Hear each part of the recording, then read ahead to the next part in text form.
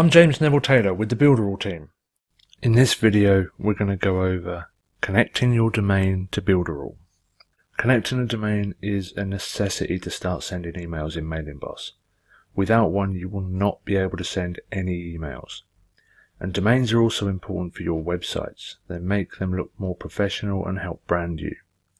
It's important to know that all domains have a reputation and as you send emails from these domains, the reputation will go up or down depending on various factors.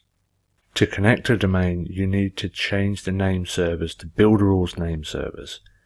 If you don't have a domain yet, you can buy one from various different registrars such as GoDaddy or NameSilo. For this example, I'm going to show you how to change the name servers in NameSilo as it's the one that I use.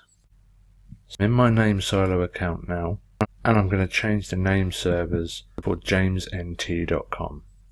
I'm going to click checkbox. I'm going to click change name servers here. Builderall has two name servers, so if there's more than two, you need to delete the third one and beyond.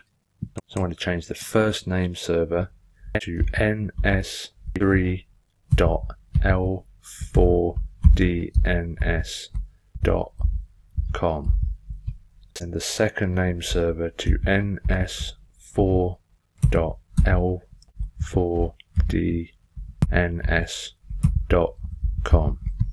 And it's very important that there's no spaces before or after, and that they're written exactly like this.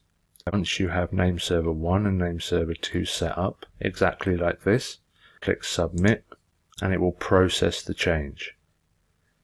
Name servers can take up to 48 hours to fully propagate, but they're usually done within one or two hours. Once they are done, you'll be able to come back to Builderall and use your new domain for both websites and email marketing. this video we went over how to connect your domain to Builderall.